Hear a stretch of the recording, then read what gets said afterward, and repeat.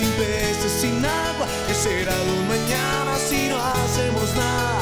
¿Qué será de los niños, los tuyos, los míos? Y que seas tú mismo el que empiece a ayudar. Oh, oh, oh. ¿Cómo le parece que el agua es indispensable para la vida y es necesaria para contar con la familia? ahora cada rato con sus comerciales, ni que el mundo se fuera a acabar. ¿Aló? ¿Con quién hablo yo? Hola, bro, yo. Ya se ocupó y aquí lo estoy viendo, le. Venga, usted como que le jala la reparación de radios. Este aparato que está chiflado, figúrese. Esos comerciales de los del proyecto AICA. Ole, ¿será que el radio está dañado? Ole, ¿no será que me están haciendo seguimiento a yo? Pues pura envidia que le tienen uno.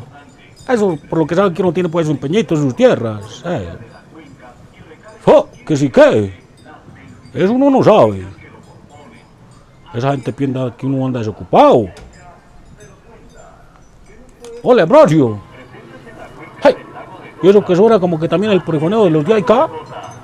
Cristo bendito, se nos metieron, se nos metieron. Sí, aló. Qué casualidad ole. Yo con lo ocupado que anda. Ah, pues aquí arriba, en el humilde ranchito arriba, ¿sí?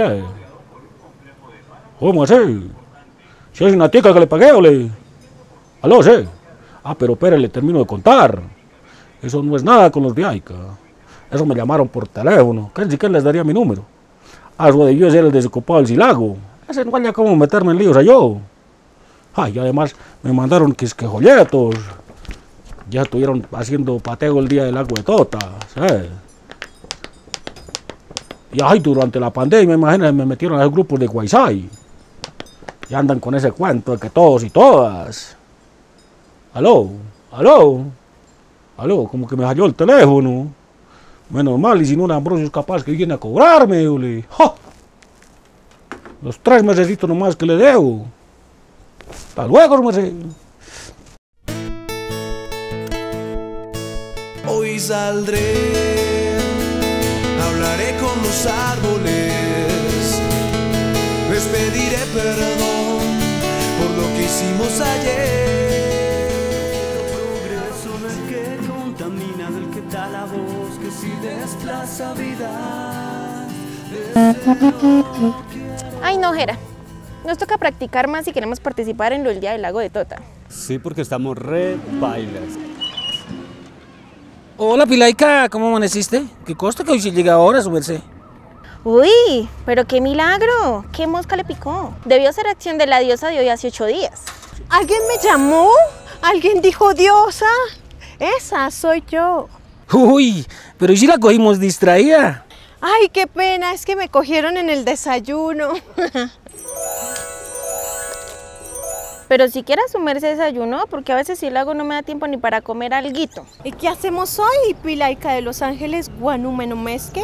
Uy, pero te aprendiste mi nombre. Obvio sí, lo sé todo porque soy una diosa. Bueno, bueno, hablando de chismes, a lo que vinimos. En mi último encuentro con mi hermana Tota, me ha dicho que muchos se acuerdan de su existencia. ¿Buscamos algunos a ver qué nos dicen? Listo, vamos. Entonces la pregunta es, ¿sabe usted qué es el proyecto AICA?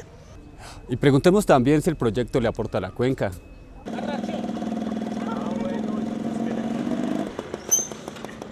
Ellos buscan eh, el asesoramiento, eh, la capacitación a nuestros campesinos en buenas prácticas agrícolas y nuevas alternativas de productos para reducir el monocultivo de la cebolla.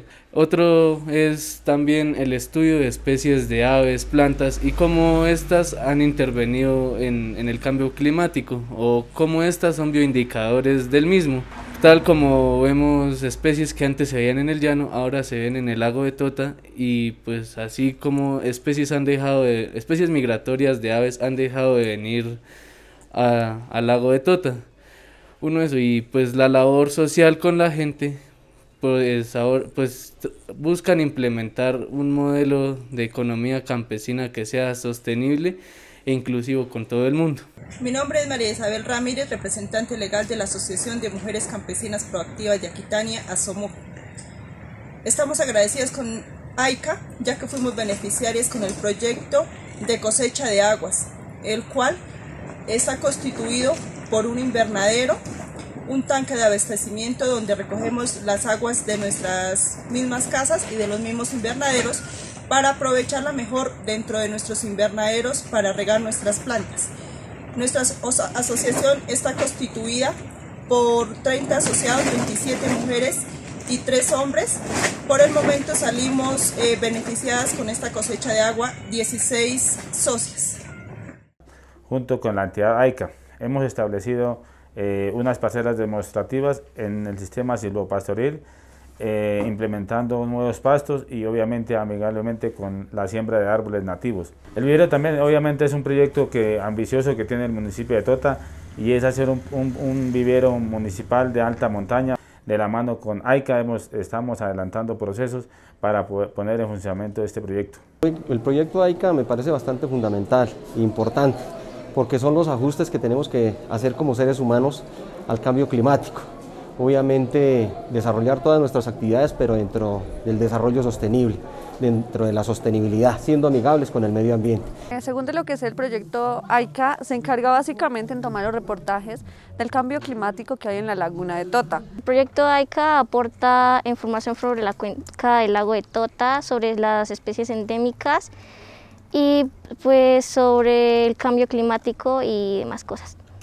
Hasta donde yo tengo conocimiento del proyecto AICA, eh, es un proyecto el cual pues, eh, viene a, hacer investigación sobre la fauna, sobre la flora y sobre la parte ambiental de la, del agua de Tota y también pues, sobre el cambio climático.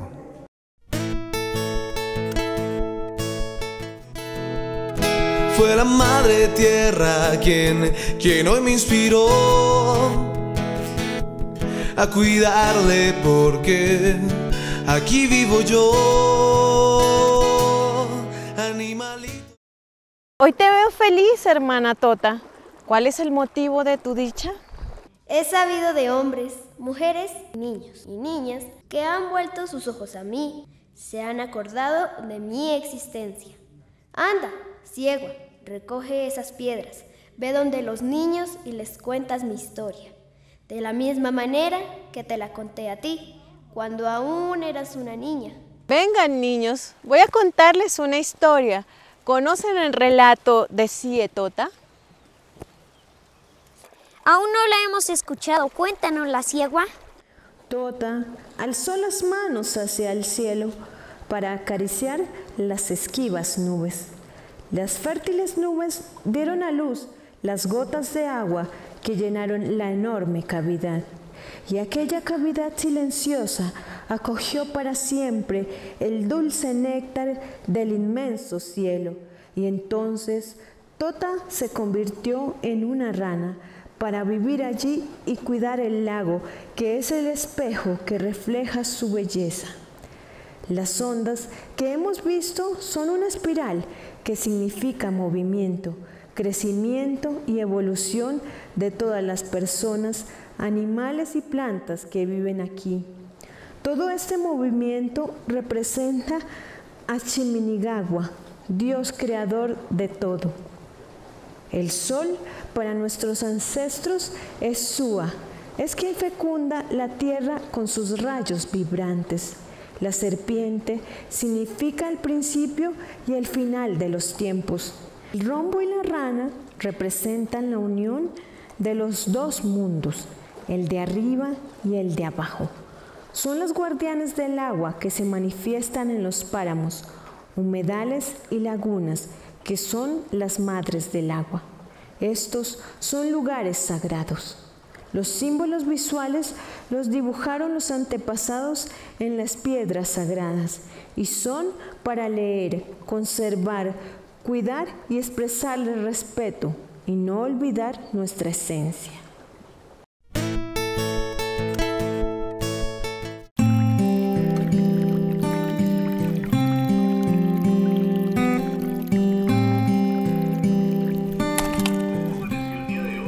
¿Y yo, Cristian, cómo le va? Bien, no pasándole a uno nada. Aquí cuidándonos del coronavirus. Menos mal estamos en el campo. Ay, muchas gracias, su merced. Lo malo es que si no sé cómo llenarlo. No se preocupe que a mí ya me explicaron. Camine, yo le explico. Camine para adentro. Aquí va coloreando según cómo se comporta el día. Aquí en los espacios puede escribir cosas que pasan en el cultivo. Y aquí abajo va llevando la cuenta y la disponibilidad del agua mes a mes. Ah, eso va a quedar bonito. Porque así uno puede mirar cómo está el clima todo el año y el otro año podemos ir comparando para ver cómo nos mejoran los cultivos.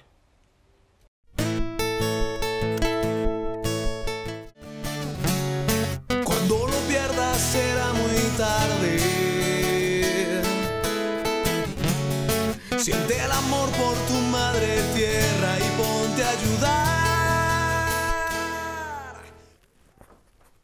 Aló, sí, hola Ambrosio. Dígale a la gente de las lanchas. Aló, aló, ¿sí me escuchó? Hasta vaina no sirve. Y su merced, ¿para qué grita tanto? Nada que cambie ese aparato. Ole, sí sabe que estoy afanado. Últimamente escucho por todos lados que los de AICA no vais a de esos que vienen a llamarme la atención o a comprar los pedidos a los que los tengo luego clavados. No vais a. Ole, ¿quiénes eran esos de AICA? ¿Qué será lo que están haciendo por aquí? No se afane, don Vicente. Aquí le resolvemos la inquietud. Oiga, Preguntémosle mejor a la Aicapedia. esa María sí se referiría yo.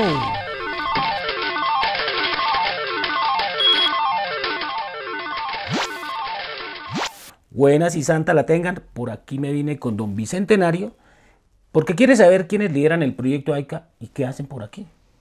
¿Cómo están? Buenos días. Mi nombre es Blanca Rengifo, soy la coordinadora regional del proyecto Adaptación a los impactos del cambio climático en los recursos hídricos AICA.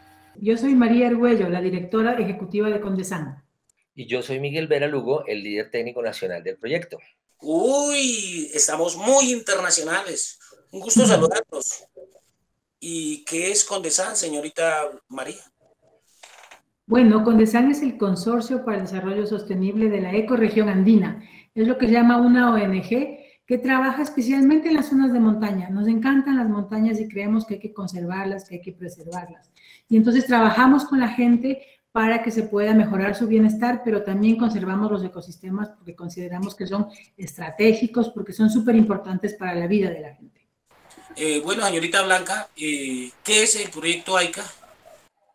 Bueno, el proyecto AICA, como su mismo nombre lo dice, busca generar capacidades en las poblaciones locales y también en los gobiernos, sobre todo en las autoridades ambientales, para eh, tomar medidas de adaptación eh, sobre los recursos hídricos para lograr que las poblaciones y los ecosistemas sean más resilientes ¿no? a estos impactos. El proyecto está trabajando en cuatro países, en Bolivia, en Colombia, como ustedes conocen, en Ecuador y en Perú.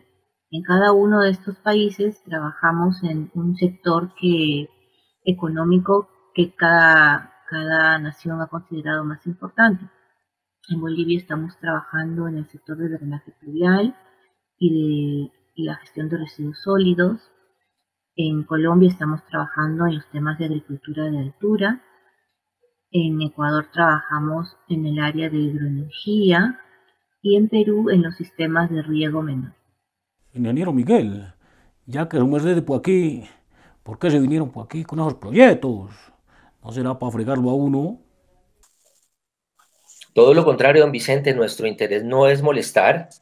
Este proyecto es muy importante porque aborda las situaciones que hacen que el lago más alto, de mayor dimensión del país y que garantiza el abastecimiento de agua para más de 200.000 personas, sea muy vulnerable frente a condiciones del cambio climático y la variabilidad climática.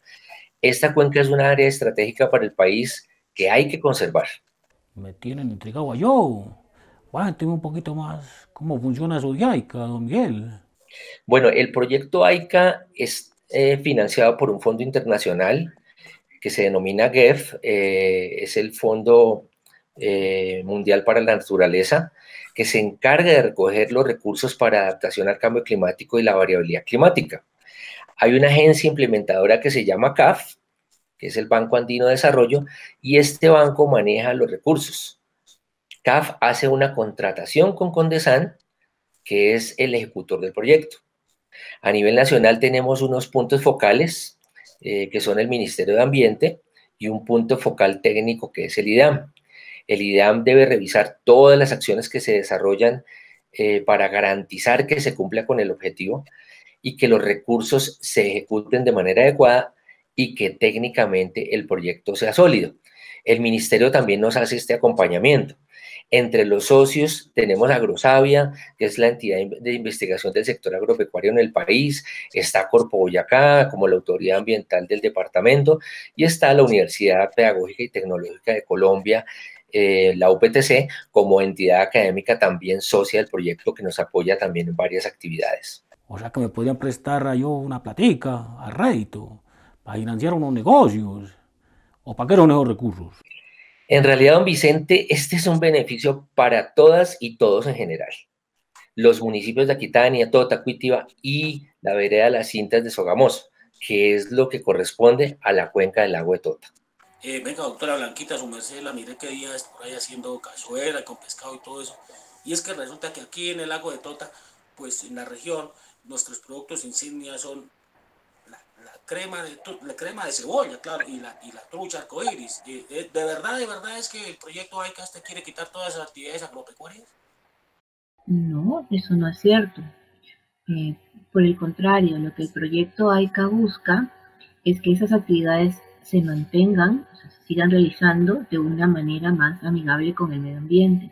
Y de tal forma que las actividades que ustedes realizan para poder tener los peces y también las cebollas se pueda mantener en el tiempo y el ecosistema pueda soportar ese trabajo o esa, actividad. Entonces, por eso el proyecto AICA ha hecho una batería de estudios para ver cómo está el ambiente, la salud del ambiente, pero también para ver cómo este se va a comportar a futuro y así tomar unas acciones ahora para mejorar el desarrollo de esas actividades.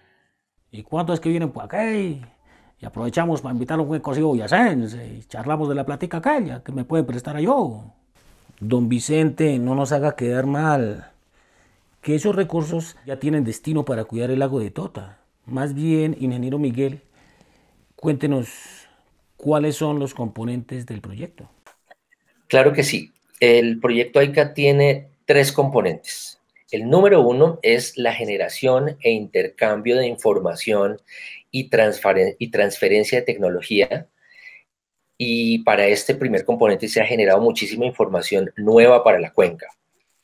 El número dos es la incorporación de cambio climático en instrumentos de planeación, eh, para lo cual hemos aportado ya en los cuatro municipios con varias asesorías para los alcaldes.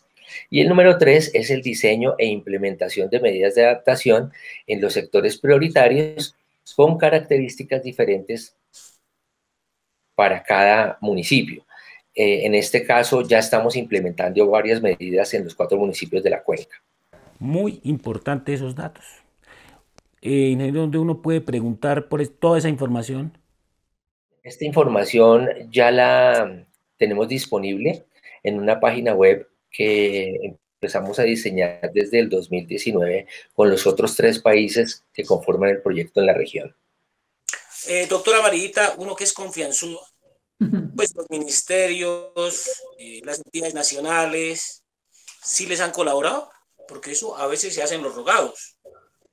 Bueno, la verdad es que hemos tenido, no sé si llamarlo suerte, pero me parece que el ministerio y todas las entidades asociadas del IDEAM han colaborado muy bien con el proyecto y están muy comprometidas, muy interesadas, pues y tienen una visión bien clara de para dónde llevarlo, ¿no? Y eso es lo más importante, ¿no? Cuando uno está claro el objetivo de lo que quiere hacer. Don Miguel, eh, muy importante. Pero yo pregunto, la gobernación, pues Cuerpo Boyacá, las alcaldías municipales, ¿sí han recibido las consideraciones sobre el cambio climático? Eh, en sus estrategias, en sus planes y programas de desarrollo, en los planes de ordenamiento territorial, en los famosos POMCA eh, o en los PUEAS, si son de confianza o se hacen los de las gafas? Eh, pues eh, fíjese que se, han se, ha desarrollado un trabajo muy articulado en conjunto con la autoridad ambiental. autoridades departamentales y municipales y en ese sentido hemos logrado una gran recepción que nos ha permitido hacer unas, dar unas orientaciones muy importantes para que todos estos instrumentos de política que se manejan a nivel municipal eh, queden fortalecidos a partir de la información que nosotros estamos generando y que le hemos socializado ya a las autoridades y a las diferentes instituciones y también a la comunidad. Bueno, por esa razón fue que metieron allá en el lago y con los bichiroques esos de tecnología y aparatos y en tantas reuniones. Sí, efectivamente se recolectó información para poder conocer las características climáticas y también las características del agua, las características hídricas, ¿no? De todo el territorio. Y luego con esa información lo que se hizo fue identificar cuáles eran las mejores medidas de adaptación para luego diseñarlas e implementarlas, ¿no? Cuáles eran las más convenientes para el lago de Tota. Por ejemplo. Eh, para identificar qué actividades productivas son las más vulnerables al cambio climático, y a la variabilidad climática, se hizo, todo un análisis de vulnerabilidad. En este proceso se recoge la información, los insumos del clima, se analizan, se hace una reflexión en donde también mucha de la población participaron. Usted seguramente también, señor Bicentenario, eh, porque hubo un trabajo participativo, comunitario, se hicieron muchos talleres, incluso en época de pandemia los talleres se hicieron de manera virtual y hubo una gran participación de toda la población de los, de los cuatro municipios donde estamos trabajando en la cuenca. Y luego de que se identificaron estas medidas de adaptación, se definió en conjunto con nuestros expertos del equipo AICA, pero también con los expertos de Corpo Boyacá, del IDEAN y también de los municipios, cuáles eran las mejores medidas de adaptación para implementar. ¿no? Y así el territorio habla y a través del AICA se toman las mejores decisiones para poder eh, hacer más resiliente la cuenca del lago Tota, esos ecosistemas. Venga, señorita Marita, yo he visto que han involucrado mujeres, hombres, jóvenes, niños que participan en este proyecto. Eh, ¿Y eso como por qué?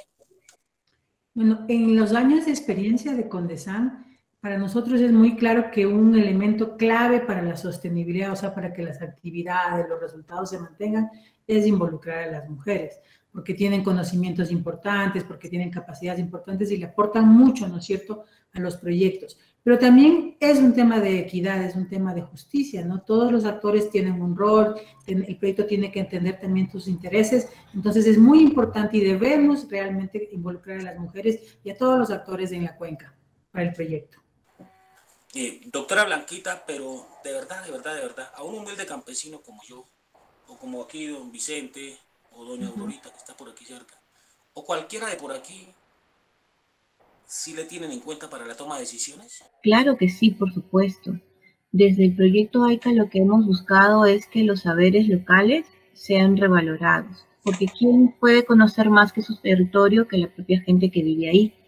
Entonces, desde el enfoque de nuestros proyectos se considera que el conocimiento y las capacidades locales junto con el conocimiento científico o el académico, deben tenerse en cuenta para poder entender el territorio. Por eso se realizaron estos, estos semilleros de investigación, que seguramente también ustedes han participado, donde muchas de las personas de la cuenca reconocen el territorio, determinan cómo ha cambiado la cultura, el clima, el entorno natural durante el tiempo y han hecho propuestas importantes para mejorar su territorio. Así podemos saber en dónde trabajar, dónde se tiene que actuar, cómo y con quiénes también debemos trabajar. ¿Hay posibilidades de cambiar la situación de la cuenca? Sí hay posibilidades de cambiar la situación mediante la comprensión de las condiciones del cambio para avanzar en estrategias de adaptación y resiliencia. La resiliencia es la capacidad que tiene la naturaleza, las sociedades y nosotros para recuperarnos ante un evento adverso. Se trata eh, de aumentar nuestra capacidad adaptativa y la de los ecosistemas ante los posibles efectos del cambio climático y la variabilidad climática. Ah, hijo, eso está bien complicado. ¿Por qué uno ya con lo viejo que anda, qué? Va a hacer cambios. Está como difícil, Don Vicente, piense positivo. sí se puede cambiar, solo es cuestión de un poquito más de paciencia y de trabajo consciente. ¿Cierto, doctora Blanquita, don Miguel y doctora Marita, que sí hay capacidad de adaptación? Sí, hay, capacidad, de adaptación. Confirmado totalmente. Ah, bueno, para luego. Sin palabras en la boca, me comprometí, ahora me toca cuidar el lago de Tota. No solo a mí, a ti también te toca y que será de un mañana. Abuelita, estaba justo pensando en ti. Hola, mijita, qué bueno que piense en mí. Sí, abuelita, hoy quiero contarte esos temas que tanto me gustan. A ver, mijita, yo soy todo oídos. Imagínate que como el lago de Tota es muy importante, acá se está desarrollando un proyecto llamado AICA sobre el cambio climático. Ah, claro, pues la verdad, mijita, es que cuando yo tenía su edad, se entendía el cambio del tiempo guiándose por las cabañuelas.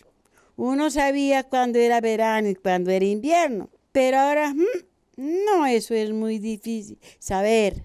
Pues por eso es que el proyecto se está realizando en el lago de Tota, para que la comunidad se informe, se prepare para adaptarse a los cambios que están sucediendo, las heladas, las sequías o las lluvias torrenciales, para que no afecten tanto los cultivos y la disponibilidad de agua para consumo. Bueno, mijita, uno se siente orgullosa que se esté aprendiendo tantas cosas para ayudar a la gente. Abuelita, ¿y su merced sabe qué es eso de la adaptación? Pues que digo, mijita, adaptarse a algo así como aguantarse las chocheras de su abuelito hace 30 años. No, abuelita, no es cosa de aguantarse, es más bien como prepararse para una nueva situación para algo que uno no conoce, como cuando yo tuve que irme de la casa para poder ir a la universidad. ¿Se acuerda, abuelita? Sí, mijita, eso fue muy difícil para todos. Menos mal que su merced sabe tomar consejos, se adaptó. Pero, mijita, sí está comiendo bien, porque la veo como muy flaca. Es que eso por allá como que se pone a aguantar. No se preocupe, su merced y mis papás me dieron las bases para tomar buenas decisiones y eso mismo busca este proyecto, para adaptarnos a los cambios del clima en los Andes. ¿Cómo así que en los Andes? ¿Eso dónde queda? Te voy a mostrar, abuelita. En esta cordillera, en la que estamos paradas las dos, el proyecto va desde Bolivia, pasando por Perú y Ecuador y Colombia. Entonces se me volvió internacional, mi hija. Sí, abuelita. Desde el lago de Tota aportamos a la adaptación al cambio climático en los Andes. ¿Qué es eso que hace el proyecto ese, mijita? Pues básicamente tres cosas, abuelita. Una, generar información para saber qué está pasando en la cuenca. Ayudar para que las autoridades incluyan esta información en sus planes y proyectos y colaborar para que podamos prepararnos ante las situaciones que producirá el cambio climático. Esta tarde quedé de pasar por donde la comadre Gladys y le voy a contar lo que su merced me explicó tan bonito. No se me ponga a aguantar por allá. Listo, abuelita. Después hablamos. Fíjese que hoy aumentamos un poquitico más la capacidad de adaptación.